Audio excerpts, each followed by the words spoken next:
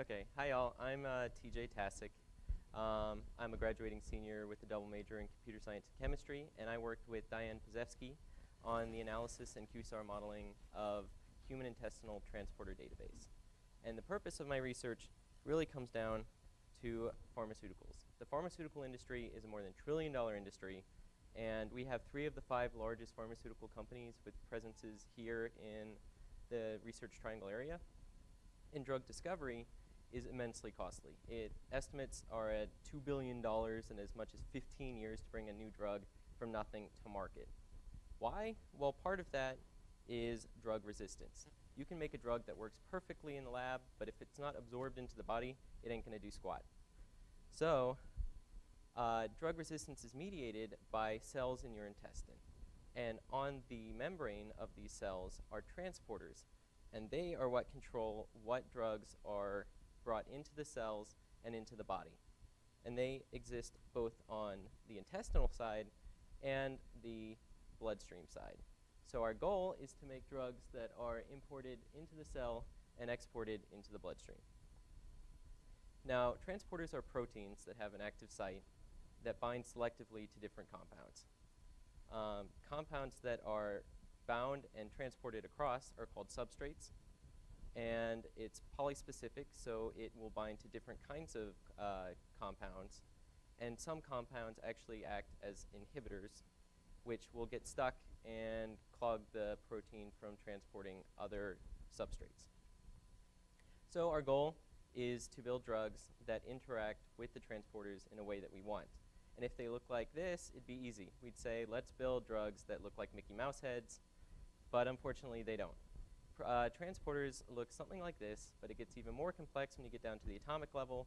So trying to model the selective, uh, the active site or the mechanism of selectivity of the proteins themselves is extremely difficult and not something that we're really prepared to handle. So instead, cheminformaticians are looking at modeling the substrates themselves.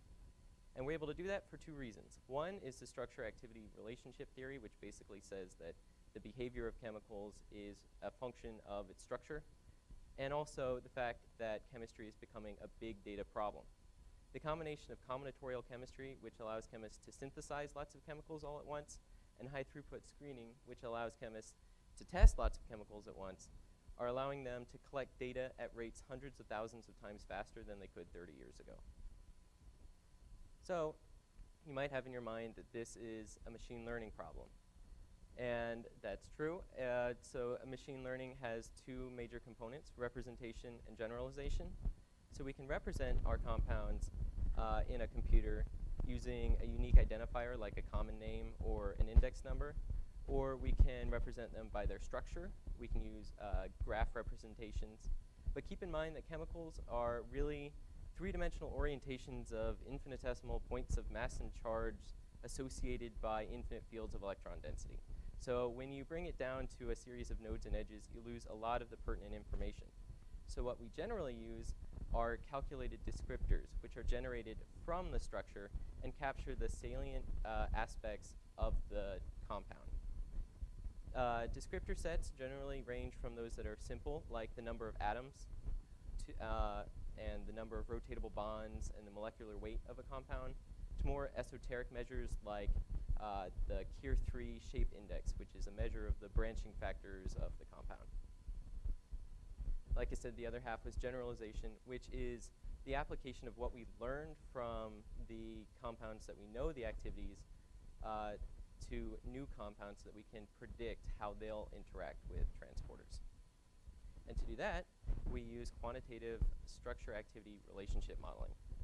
The workflow for that is uh, we take a data set of compounds, we generate the descriptors, and then we split that data set into a modeling set and an external validation set. Then we take the modeling set, break, uh, bag it into multiple training sets and test sets, use any number of supervised machine learning uh, techniques to create models on the, mo uh, the training sets, test them on the test sets, take the best ones from that, combine them into an ensemble predictor, predict the activities of the external validation set, and the accuracy of that process gives us a measure of how good the predictor is. And then we also like to use that predictor and identify new compounds that we don't know the activities for in large databases uh, that are available, and then testing those chemicals uh, in the laboratory. So for my research, I used a database uh, that consisted of 56 data sets concerned with the interaction of 14 transporters and almost 4,000 chemicals, and there were over 10,000 activity values in all. The data sets were separated into those that were looking at the substrate activity of the transporters and the uh, inhibition activity of the transporters, and also those that had continuous values of how good they were at uh, being substrates or inhibitors, and also classification data sets, which basically just divided the different compounds into those that were inhibitors or not, and those that were substrates or not. I also characterized different data sets. So I looked at the number of compounds that were for each data set, and I calculated a modelability index, and I looked at the number of descriptors that were uh, retained for each data set. I also characterized the individual transporters that were represented by the data sets. So I looked at their location, whether they were on the bloodstream side, which is the basal side, or the uh, luminal side, which is also the apical side, and whether they were importers to the cell or exporters. And I also looked at their homology group, which is their family of related uh, proteins.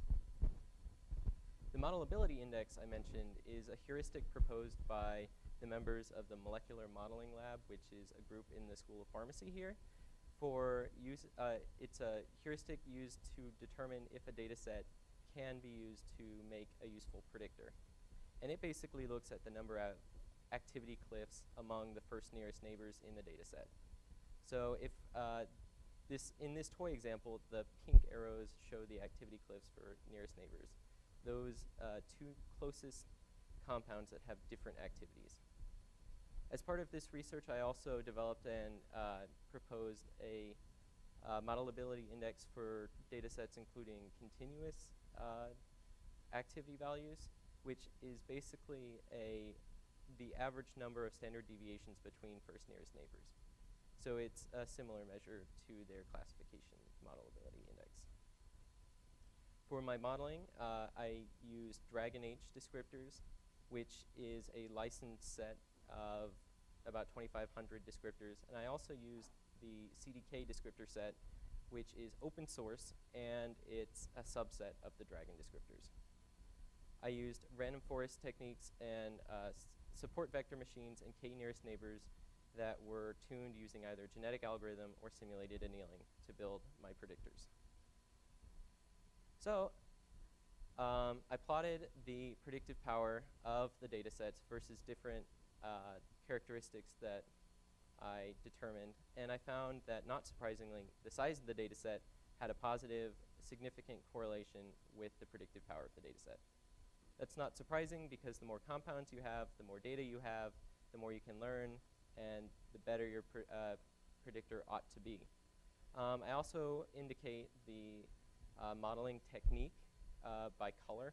So random forest is green, SVM is blue, and KNN is orange.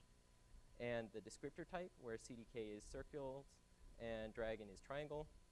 And I also indicate whether uh, auto-scaling was used on the descriptors by a black border. And none of these things had a significant effect on the predictive power.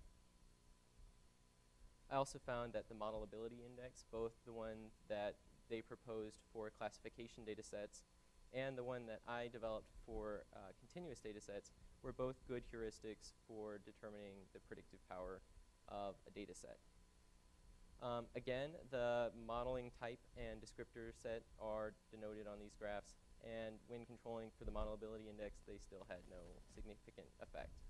However, the homology group of the transporters did have a significant effect, even when controlling for the modelability index, which implies some molecular basis uh, for why we're able to create predictors that's different from just uh, the distribution of the compounds in the descriptor space. Uh, specifically, the uh, ATP binding cassette transporters, which are the ones that are shown in blue on the bottom graph, uh, were modeled more poorly than the solute carrier group, which is all the other colors. Um, and so it's possible that this discrepancy is due to the interaction of, or the use of the ATP molecule, uh, which is used by the uh, ATP binding cassette transporters uh, to power the transport of the substrate. And this is interesting, and it may uh, suggest a need for future work in the laboratory actually looking at these proteins themselves. Uh, in conclusion, I found that the size of the data set was significant. That's not very surprising. The modelability index was also a good heuristic, and the homology was good. Um, I also found that the algorithm was not significant, which means that uh, random forest was much faster, and I would recommend using that. And the descriptor type was not significant. Um, does anyone have any questions?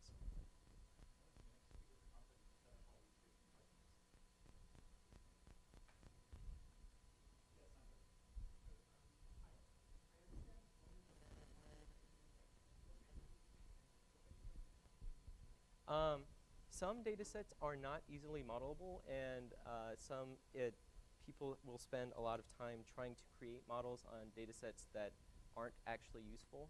So this is a very quick uh, heuristic that you can uh, calculate, uh, which is supposed to be able to tell you if the data set can even make useful predictors. Um, does that answer your question? It's just a heuristic.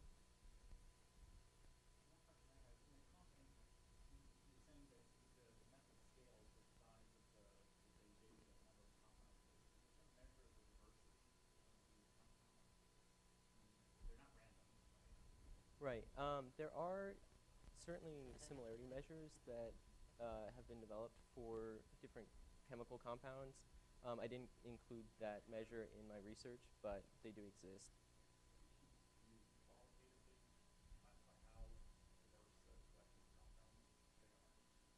Certainly. Um, and like that's what the Tanimoto uh, similarity measure captures. Uh, it looks at different functional groups and the size of the compounds. And I'm not really sure about the particulars for how it calculates the similarity measure, though.